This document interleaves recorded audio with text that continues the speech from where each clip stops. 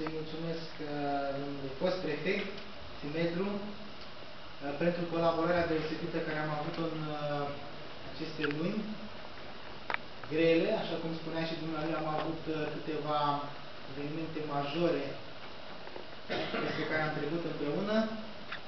Eu zic că am reușit să rezolvăm problemele care au apărut în cele mai bune condiții.